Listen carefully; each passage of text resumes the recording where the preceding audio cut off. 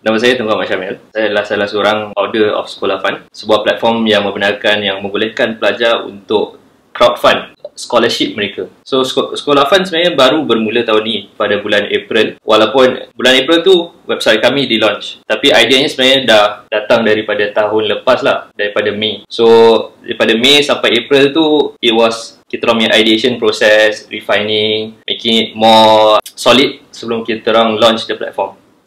Sebenarnya cerita dia panjang tapi untuk memendekkan saya sekarang sedang di dalam ta- uh, sedang dalam tahun 2 UIA dan bila saya di tahun pertama kita orang ada Facebook group. Nama dia IIUM Online. So bila saya tahun pertama tu first year kat UIA saya ternampak satu post dalam Facebook group tu tentang satu pelajar ni yang memerlukan dana lah. So dia cerita dia kongsi yang family dia sebenarnya susah. Ibu bapa dia sakit jadi tak dapat bekerja. Tapi dia dia dah usaha dia kerja part time dia dah usaha untuk dapatkan bantuan daripada financial aid zakat semua. Tapi tak mencukupi atau some of them tak dapat pun. Yeah. so he was asking for people's opinion. Apa yang patut dia lakukan untuk bantu atau membaiki keadaan dia lah untuk bayar yuran dia. Instead of giving suggestion macam, oh, awak boleh kerja kat sini, awak boleh minta badan ni. Orang-orang semua komen kat situ, minta bank account dia. So, dia cakap, bro, give me your bank account, uh, saya akan transfer apa-apa yang saya boleh bantu lah. Dan bukan satu orang, dua orang, macam beratusan orang komen kat post tu. So, saya nampak macam, oh, interesting lah. Mak- maknanya,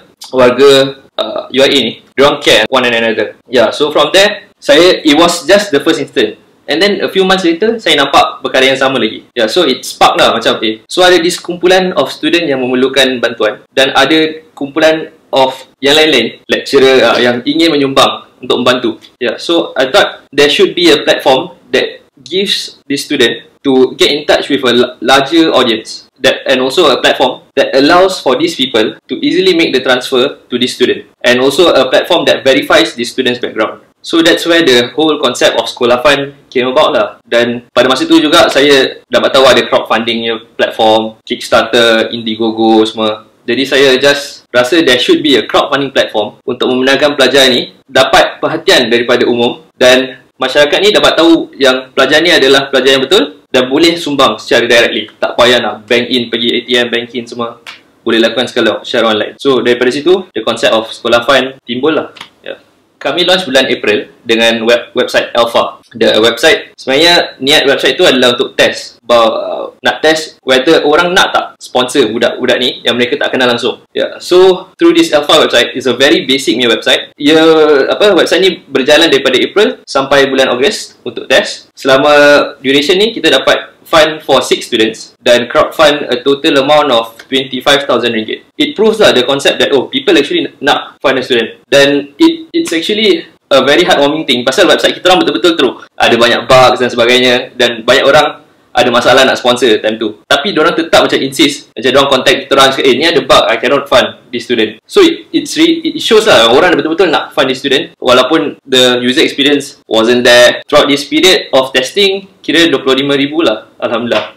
RM25,000 kumpul secara keseluruhan. It's like a micro scholarship lah. Satu student minta membiayai satu atau dua semester gitu. Dan the average amount is about 5,000 per student.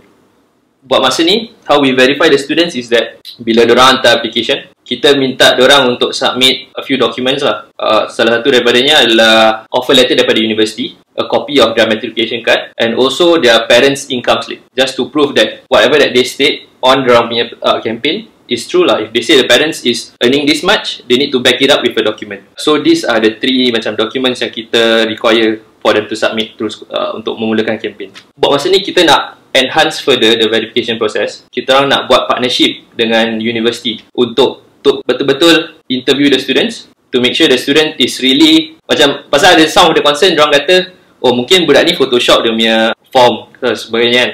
So kita orang nak tackle that insecurity dan betul-betul go directly with the school lah. Dalam universiti betul tak? Pelajar ni ada tak dalam universiti ni? Background dia betul tak macam ni? Yeah. so that's satu yang benda, satu perkara yang kita orang tengah working on right now lah. Trying to get partnership dengan universiti-universiti dan juga MPP MPP lah untuk bantu kami dalam proses verification.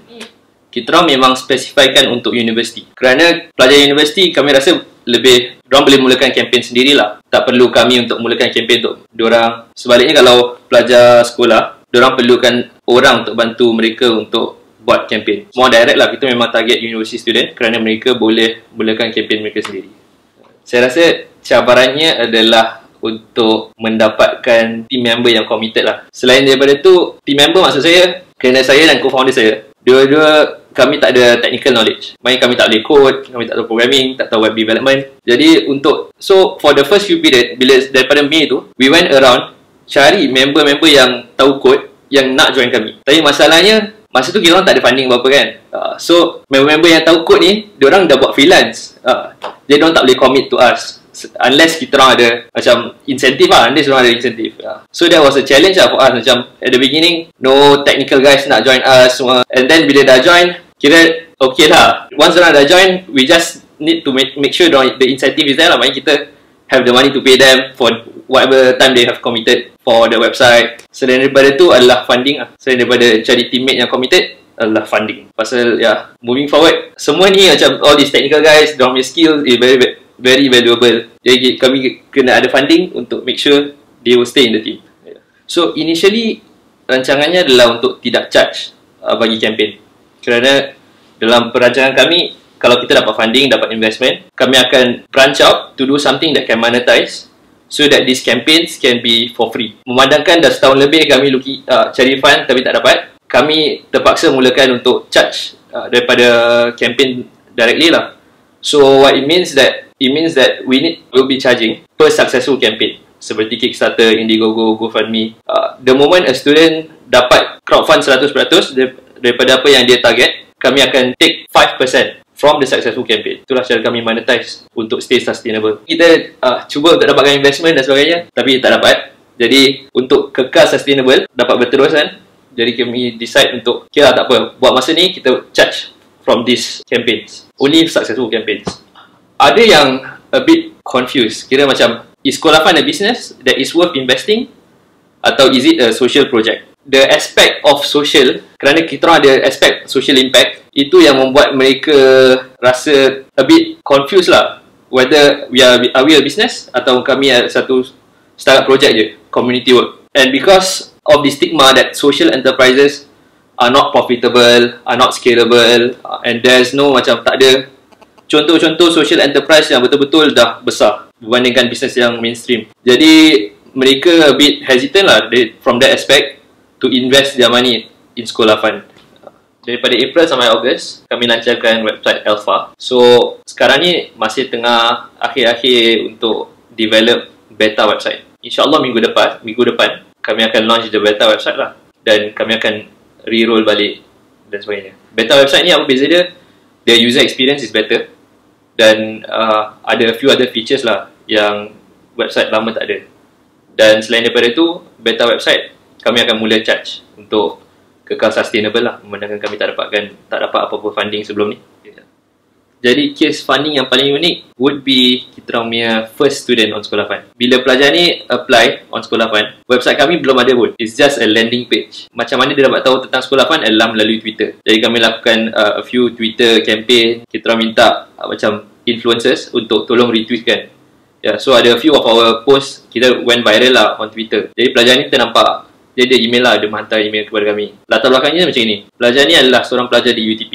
Menjalani satu tahun of foundation. Tapi hari pertama foundation tu, bila bapak dia hantar dia ke uh, University Foundation uh, untuk foundation, bapak dia, on that same day, bapak dia meninggal dunia. Bapak dia was, mak dia bekerja tapi uh, income tak tak seberapa lah. Jadi bapak dia was the so-called breadwinner. Selepas bapak dia meninggal tu, kira family dia jadi susah. Untuk mulakan tahun pertama di UTP, pelajar ni perlukan bantuan lah. Kerana somehow demi PTPTN tak dapat proses dan sebagainya. Dia apply untuk zakat tak dapat. Jadi dia kata ini usaha terakhir dia lah untuk bantu ibu dia untuk membayar yuran untuk tahun pertama. Pelajar ni dengan beraninya ke depan cakap dia nak mulakan kempen dia minta bantuan kami. Bila website kami launch uh, dia minta target was 5,000 5,000 ringgit. Covers only like 3 quarter of the fees lah. Dia kata the remaining ibu dia mampu bayar Ya, yeah, so dia crowdfund, dia aim untuk crowdfund RM5,000 dan Alhamdulillah, campaign dia dalam 3 hari je.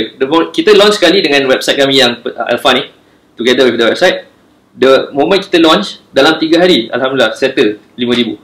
Yeah, so it was a very moving and very heartwarming thing lah that kita orang nampak, oh, masyarakat memang concern tentang student ni adalah satu perkara yang amat memperangsangkan lah bagi pelajar dan juga bagi kami. Orang akan sokong platform kami, orang akan sokong pelajar-pelajar dalam platform kami. Itu adalah satu daripada sumber motivation kami lah untuk teruskan dan terima ada-ada campaigns untuk dimulakan dalam website Alpha kami. Ya.